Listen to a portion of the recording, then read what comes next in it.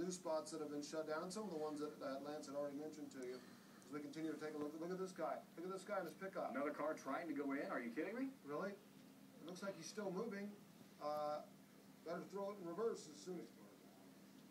And, and by the way, that red car, yeah, you're seeing there, that belongs to that Allie Taylor we were just talking to there earlier. We could see the taillights on still. Right. We watched it live on the air here Yeah. on News Channel 4 as it essentially sank. And yeah, as it's exactly. And look at this guy. He's trying to back out now. Uh, fortunately for him, again, his computer on his truck must be a little bit higher set than most vehicles.